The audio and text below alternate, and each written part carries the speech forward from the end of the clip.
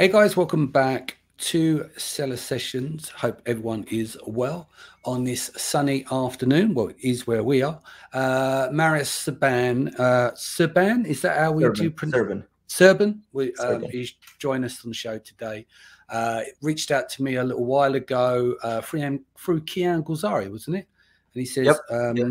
Kian said, I know this very, very good photographer. Um, and we've had a, a bit of back and forth and working out what kind of content can we do because there's, uh, as we've done quite a lot of episodes, we've done optimizing images and everything else, but it thought be good to go through a, a, a technical spec, even if it's beyond the seller that is listening to do it themselves. It's just giving them more of a concept what makes that top tier photographer and what makes images really pop outside of using Lightbox and Photoshop and post processing. So, obviously, do you want to give the audience a little bit of background on yourself? And then what we'll do is we'll pull up the slides. So, for anyone who's listening back on the podcast, you can go and check out it on YouTube as well if you want to see some of the imagery. But of course, we'll discuss and try to explain it so you can hear it from an auditory point of view. So, over to you. Uh, do you want to quickly give a background on what you're doing and your background? Sure. Um, my name is Marius. First of all, thank you for having me on the podcast. I appreciate it. You're welcome. Um, I've been doing, uh, I started with design, uh, graphic design 22 years ago, transitioned into photography, transitioned into web design about 12 years ago. But I've been doing all of them uh, because they all match, you know, uh, interconnected. So um, about four years ago, five years ago, I started, um, uh, I entered the Amazon world as a seller initially i went to china to the canton fair. That's where actually i um, i met kian. Mhm. and then um, someone asked me if i can do some uh, photography. So i did uh, some pictures for someone for uh, for a mentor and he actually started referring me. I was like okay there, there is a possibility of this niche because what I'm doing and what I'm specializing in is uh, lifestyle product photography. So I Mhm. like to rent locations, million dollar locations, hire models, and have you know uh, original images. So I don't like Yeah. photoshopping a product uh, a stock pho- into a stock photo. You know, I like from picture one to picture nine to be seamless, same model, same location, almost like a story. We are telling a story, and uh, because what I'm telling my clients is people connect with people, not with products. Yeah. So if you see someone uh, using a product, uh, you can envision yourself using it way easier than if you would see the product on a white background. Mhm. Uh, so yeah, I've been doing this full time right now for Amazon only for about three years. Um, yep. Excellent.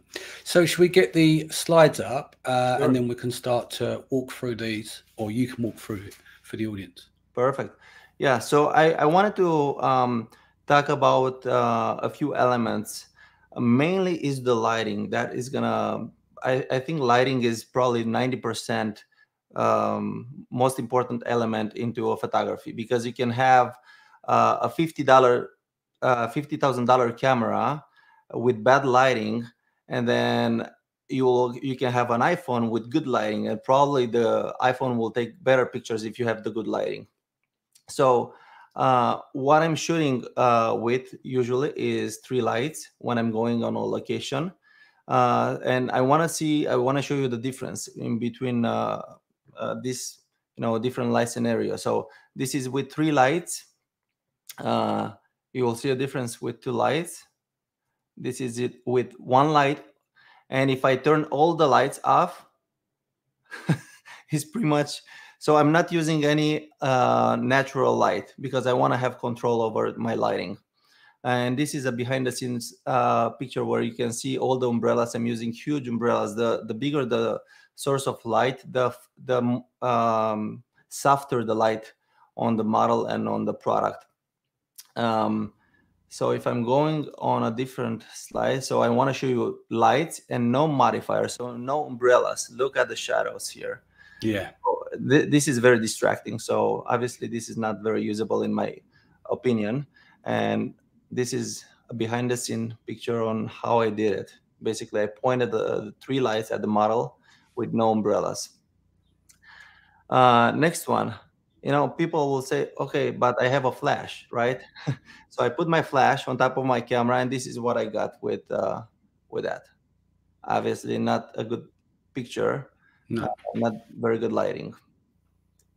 Uh, there is another way to control the lighting is by raising the ISO. The higher the ISO, the grainier and the, the picture is gonna get. So, yeah. for example, look at this one.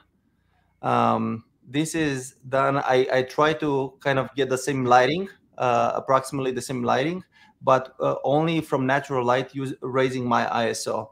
So I am at 6400 ISO right here. And if you can see in the image, it's very noisy. And yeah. as a comparison from the same angle, ISO 250 with the three lights, you will see how different the image is. Yeah. So, so for me, I, uh, again, this is another point to prove that lighting is probably the most important element into a picture. And, and would you say um, specifically, is it the more power you generate from lighting? You know, like you've got the big umbrellas. Mm-hmm. Okay. Mm-hmm. So you had three of those set up, like mm-hmm. huge in comparison to the distribution, the size of the room. Would that make more? Um, is, is that more important than the pricing of the lighting. Does that make sense? I know you've got di yes. different bulbs and stuff. Yeah, yeah. But so right now I'm actually um, using a flashpoint uh, hmm. system mm. Uh, from uh, it's basically Godox uh, branded by Adorama mm. as flashpoint, and the ones that I'm using are uh, each light is 600 watts, right? Mm. So basically I'm shooting with 1800 watt at yeah. one time at one. And when you have that, that allows you, first of all, to uh, we will talk about aperture in a, in a second. Yeah. Uh, but basically, the aperture controls the depth of field, how how um, blurry is gonna be behind your subject or yeah. not. And and the more, uh, let me show you actually because th this will be perfect transition. So for example, here with f22, that means the product here, which was the tray that I photographed yesterday, mm. is in focus as well as my model is in focus and they're pretty separate from each other but if i want to go with an f2.8 right my yeah. uh, my tray is in focus actually not all the, like the beginning of the tray is not in focus only where the glass is is in focus mm. and the model is out of focus yeah. so basically if you don't have light you need to go with this number in this case 2.8 you know, as low as possible. So I went from 22, where I had focus in front of and the back, and then I went all the way to 2.8 because the lower the number, the less light you need, right? Mm. So you would need an, a huge amount of lighting for the f22 to have everything in focus. Right. And sometimes you may want to have everything in focus. In that case, you do need a lot of light to answer your question, you do need a lot of power if you want to achieve something like uh, like this F22. Yeah, so effectively, the more lighting, the better. Effectively, exactly. like overall, um, obviously, there's the nuances of quality, but having more lighting fills more pockets within inside of that exactly. room. Obviously, it gets hot in there as well. So the models, uh, not, not, too hot, not too hot. No? what depend? What with that 600 watts of light?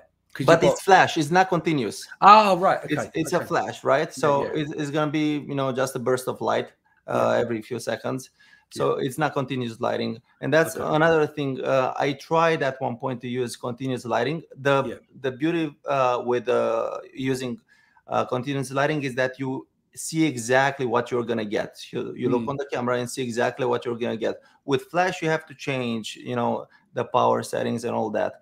But uh, I am I'm personally a fan of, uh, of Flash because it's more powerful than continuous lighting. Yeah, yeah, um, I got you. And then, for example, if we go, the next one is lenses. So um, if you look at this one, so mm. I'm using 24 millimeters on the left. I, I wanted to get the same the same size of the head, right?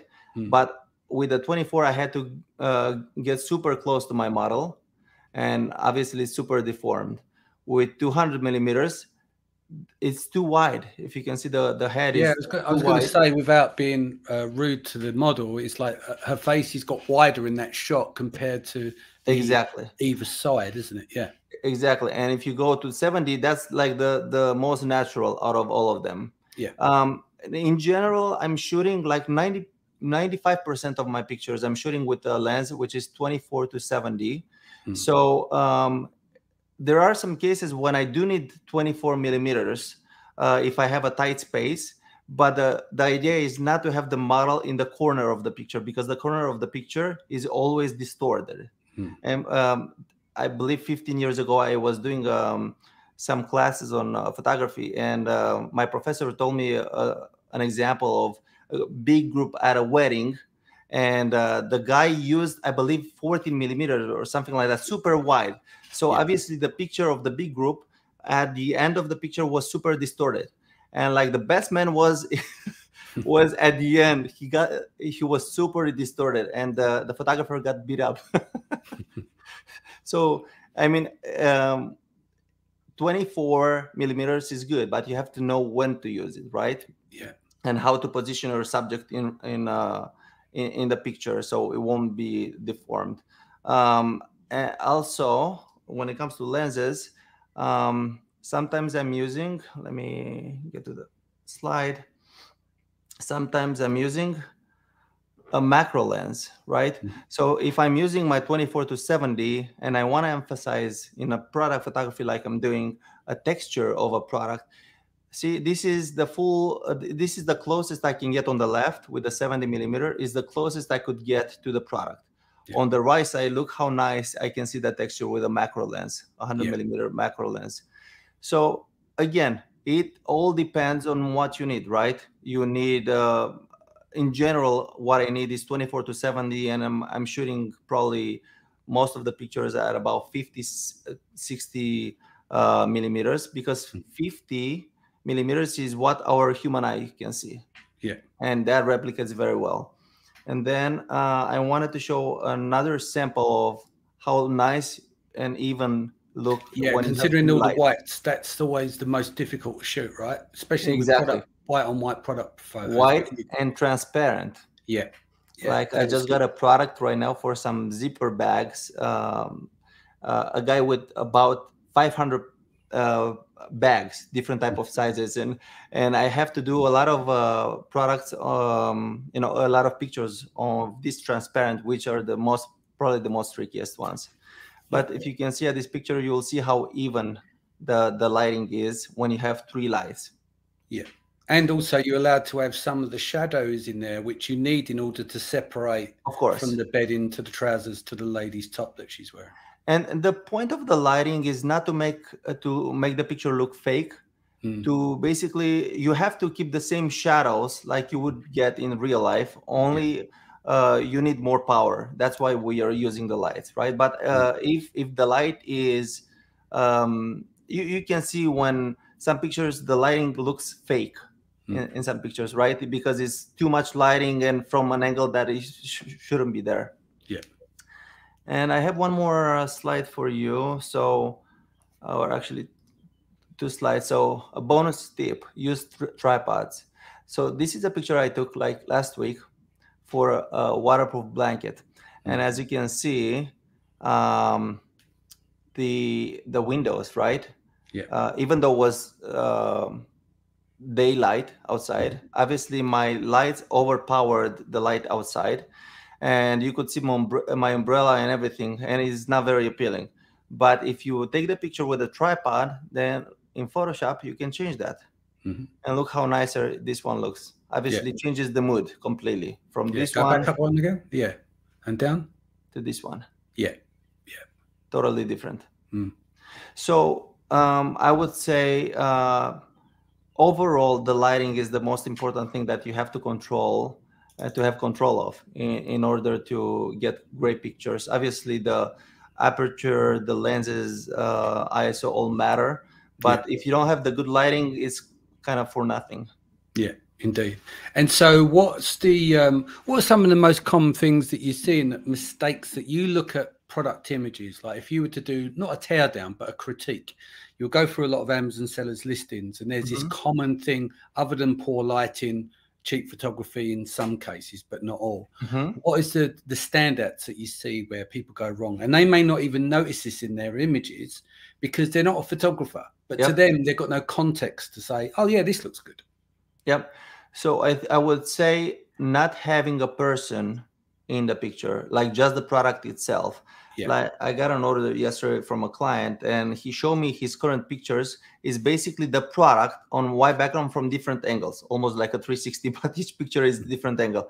And that doesn't really help, right? Because first of all, you don't see the how big the product is in comparison to if someone would hold it, right? You will see uh, uh, the size. Like I bought um, some vitamins from uh, from Amazon, and for some reason I thought the, the bottle is gonna be like this. Was like Mm. this.